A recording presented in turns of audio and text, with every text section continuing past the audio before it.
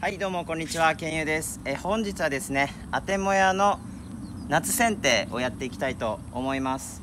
えー、で今日がですね7月の25日ですね、え、このタイミングであてもやの夏剪定やりたいと思います。で一度春にですね、え、3月の20日ぐらいだったかな。その時に、え木の樹形を全体的に整える剪定をして、えそこからね枝葉がこうわーっと生えてきております。で4ヶ月前は、えかなり摘葉もして葉っぱも落としてたんですけれども、えかなりですね生い茂った状態で、えここから夏剪定に入りたいと思いますはいで、え7月の剪定と8月の剪定であのですね冬のあてもやの出荷がある程度こうこうなんだろうコントロールできるということが分かっておりますでこの辺のね詳しい解説は以前論文の方でね、えー、学術論文を取り上げて解説していますのでぜひそちらの方をご覧ください今回はね夏剪定7月25日にやりたいと思いますはいで、えー、剪定ですね。これをまあざっくり切っていくんですけれどもえー、っとちょっとよれます？うん。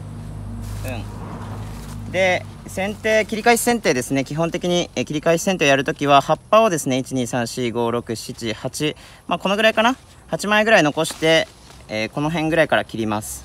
はい。全ての枝ですね、えー、混み混み合う枝に関してはもう、えー、躊躇なく、え切りたいと思います。で、え切ったところから下からですねまた枝葉が枝がまた新しくこう生えてくるので、えそちらにね花がつくということになっております。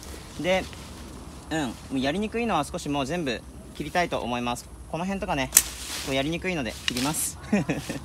はい、えー、どうなるのかちょっと楽しみなんですけれども。よいしょ、えー、やっていきたいと思いますはいでかなり下、えー、下のものですね。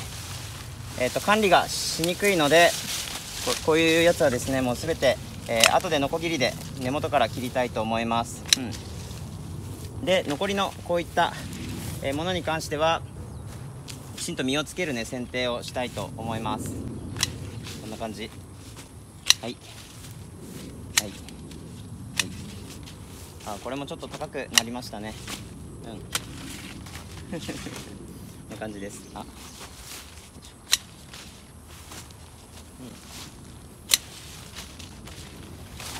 で下側からね剪定していくとすごく楽です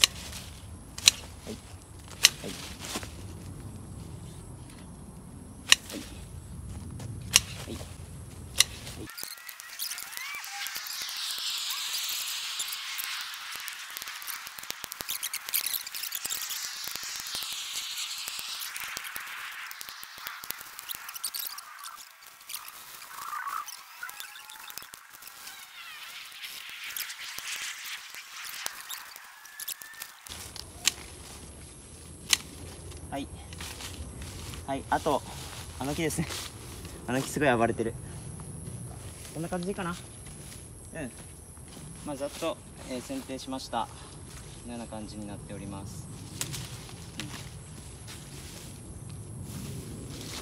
の辺も。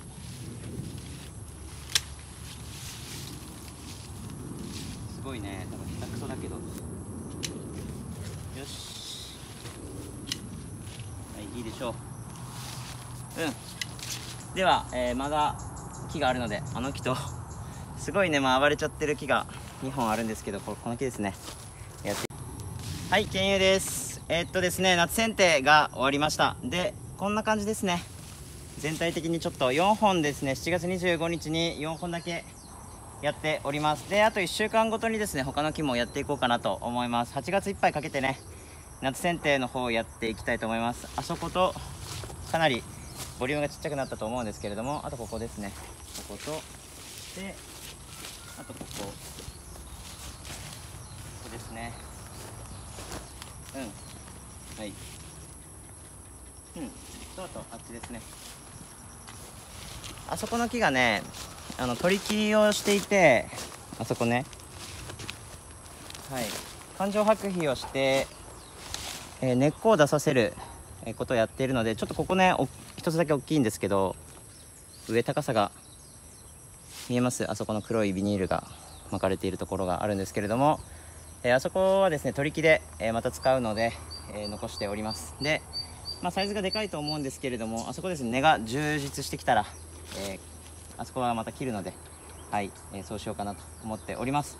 ということで今回はですね、えー、夏剪定でした、えー、これからですね160日かな170日かけて、え果実ができます。